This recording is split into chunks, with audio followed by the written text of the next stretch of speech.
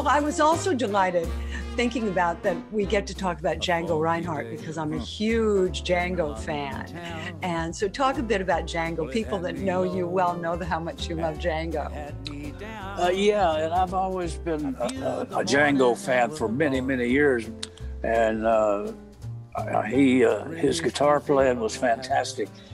And I loved him the first time I heard it. I uh, tried to play as much of his songs and things, try to get a lot of his licks. And, uh, you know, uh, somebody said that I was like Django with one finger.